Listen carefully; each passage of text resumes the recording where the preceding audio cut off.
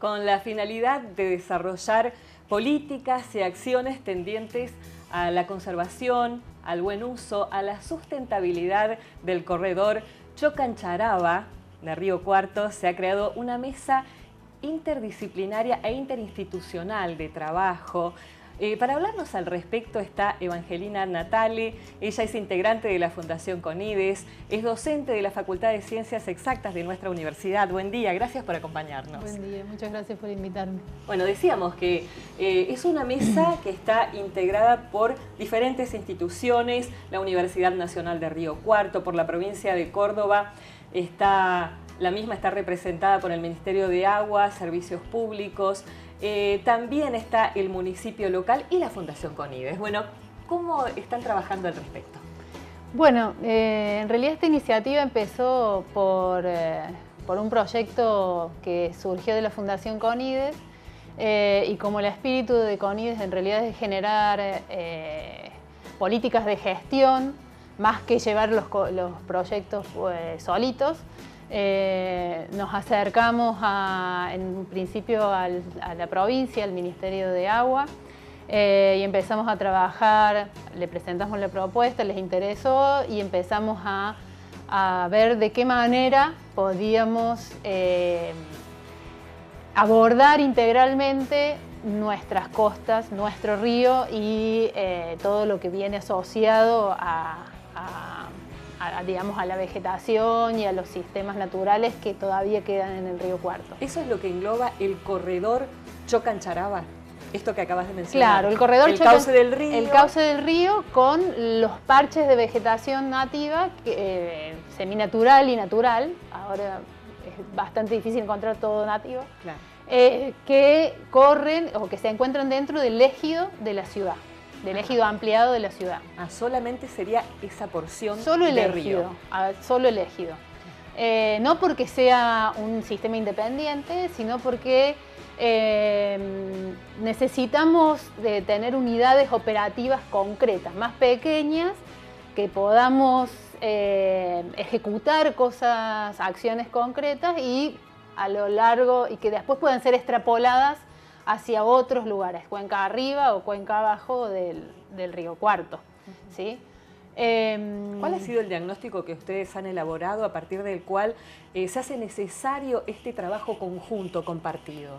Bueno, mira, yo voy a citar una frase que se dijo en la mesa y el diagnóstico más acertado es que Río Cuarto creció a espaldas, dándole la espalda al Río Cuarto y no tomándolo como, una, como un recurso potencial que no solamente brinda eh, biodiversidad para lo que estamos, eh, digamos, en contacto con esa, con esa área, sino que también brinda oportunidades turísticas, brinda eh, salud a la población porque son generadores de oxígeno, porque minimizan los ruidos, minimizan la temperatura, eh, presta servicios ecosistémicos o servicios ambientales de los cuales a veces no nos damos cuenta que existen porque no necesitamos pagarlos para ello.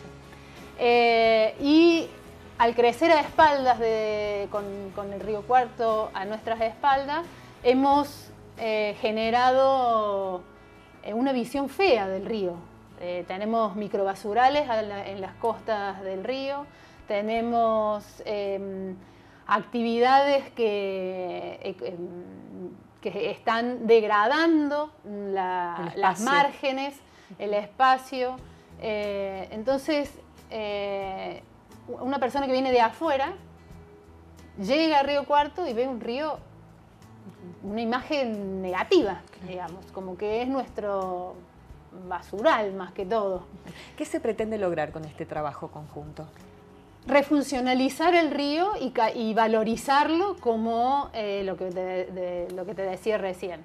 Eh, atacar o, abordar las problemáticas que hoy eh, tiene presente, tiene en sus márgenes, haciendo que, y que cada autoridad de aplicación reconozca y se haga un poco cargo de poder solucionar ese problema. ¿Hay plazos de aplicación de esta iniciativa? ¿Tienen ustedes previsto un periodo de tiempo ya en estas reuniones que, sí, están haciendo? Eh, el proyecto tiene un año de ejecución, ¿sí? Eh, el que tenemos nosotros que aplicar, pero eh, el objetivo es que, eso, que lo que podamos generar en esta reunión y en las acciones posteriores excedan ese plazo y que finalmente todos los actores involucrados en el río se apropien de, este río y podamos seguir eh, con acciones a largo plazo. Evangelina, como para cerrar, eh, ¿cuáles serían las primeras acciones que ustedes creen que son necesarias implementar ahora, en este momento? Mm, bueno, em, lo primero que tenemos que hacer es acordar es llegar a acuerdos eh, institucionales que para eso, Compartidos, claro, eh, apareció esta mesa y que vamos a tener una segunda jornada eh, donde vamos a empezar a ponernos a trabajar.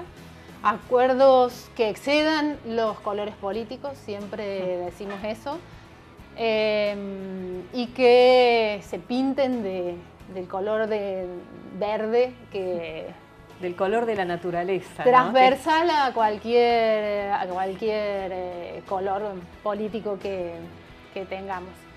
Em, y luego de eso, eh, a partir de esos acuerdos, empezar a abordar eh, las problemáticas de los microbasurales, ver cómo lo limpiamos, hacer muchas, mucha tarea de difusión, porque también necesitamos que el ciudadano común eh, se dé cuenta de que hay un río y que, le dé, y que lo empiece a mirar de frente. La campaña de concientización en este caso es fundamental. Es fundamental y el proyecto nuestro la tiene de manera transversal. Una campaña de concientización que va a empezar a, funcionar en breve.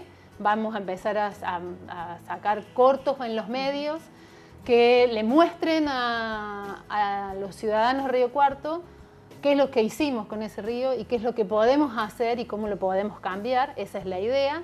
Y también un programa de educación ambiental eh, que queremos que baje a todas las instituciones, le, solicitamos y les pedimos a los docentes que nos ayuden en esto, porque como siempre apostamos a, los niños que son el futuro y son los que pueden transmitir mejor eh, estas cosas que parecen utópicas, pero que nos hacen caminar hacia una nueva eh, manera de concebir. Un nuevo paradigma para tratar de incluir eh, las cuestiones ambientales a nuestra vida, digamos.